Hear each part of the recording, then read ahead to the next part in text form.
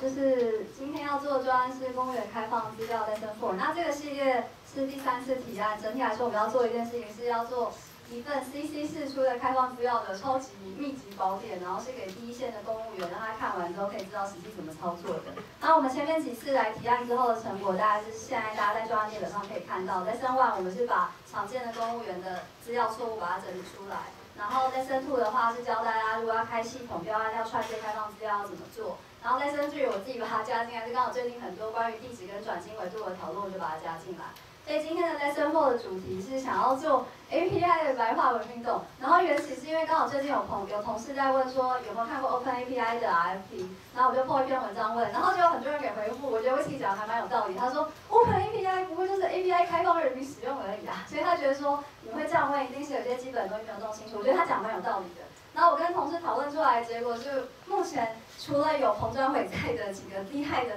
政府之外，一般的政府单位，其实我们会知道 API 好像还蛮重要，知道要做，但是到底要怎么做，实际上的处理我们其实不太了解。所以今天的重点就是希望可以写出写成一份文件，告诉我的同事跟长官说，到底什么是 API。然后，呃，也是白话版上看得懂的，然后什么情况下可以使用，然后到底该怎么处理，这大家今天想要做的事情。所以我今天需要帮助一样是，我需要非常有耐心的工程师大大，可以告诉我你看过的好的政府资料 API 的案例，然后可以具体操作跟说明给我看。那因为今天有大大的经先丢给我白宫 API 相关的资料，就欢迎可以一起来研究。好，那上面主线任务，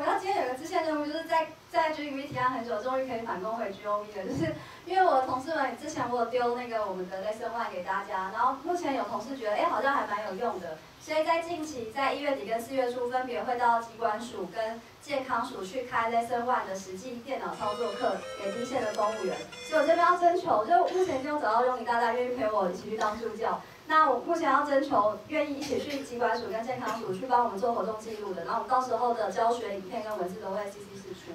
然后支线任务二，就是因为之前呃 Lesson Two 的后续是呃有达到请长官同意说我们可以去修改我们自己部内每一个资讯标案其实都有范本，可以把大家建议直接收进去。但是因为这个范本我不能直接全文公开，所以有开了一个就是呃秘密文件，就是如果你对于修改政府的范本，呃加入更多开放资料概念有兴趣的话，可以直接来跟我讲。好，然后今天是除了我之外，健保署跟健康署的同事都有来。那尤其健康署，他们接下来这一年都会做很多新的应用，所以对开呃健康署的资料、健康资料、癌症资料、妇女资料等等有兴趣的话，就欢迎来认识我的同事。以上。